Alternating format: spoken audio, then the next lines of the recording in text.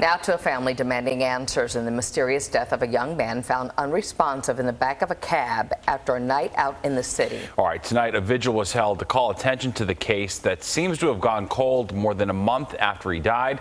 Teresa Priolo in Hell's Kitchen tonight with the story. Teresa. Yeah, Stephen Lori, candles are being lit here for Julio Ramirez outside of the Ritz bar. What exactly happened to Julio as he was leaving this bar? Was he targeted or is his death just an unfortunate accident? New Yorkers came together tonight to tell his story and to remember his name. Julio was always just like the life of the party and it just, it's just not fair. It's been 40 days since Julio Ramirez was found unconscious in a New York City cab.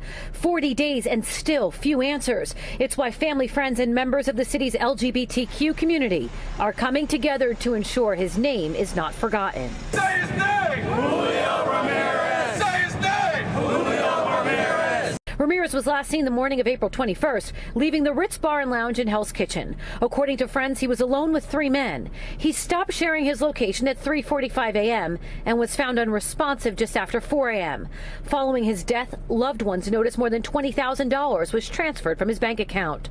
Police are not giving any indication of foul play, but the investigation continues. This happened back in April, um, and I just find that it's unfortunate that not many people do know about this this travesty, that, that, that terrible event that happened so quickly, and just like doesn't seem to be being investigated or like even questioned. With all the violence that we see in New York City and everywhere, it's not a safe time to be a queer person of color.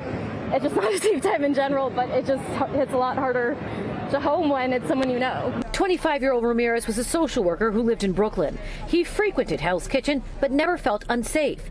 Safety within the LGBTQ community, especially during Pride Month, is a topic of great concern. Be able to go home and see his family and his friends again just really touched me. Um, and it it's important, I think, to raise awareness, to be safe, and always check your surroundings. We need to make sure everyone's held accountable and the establishments have the resources to make sure everyone's safe and they come home at night. Now, we reached out to the NYPD to see where the case stands right now. They tell us there are no updates, Stephen Lori, but the case does remain open. That's the latest from outside of Hell's Kitchen tonight. Back to both of you in the studio. That is baffling for sure. All right, thanks, Teresa.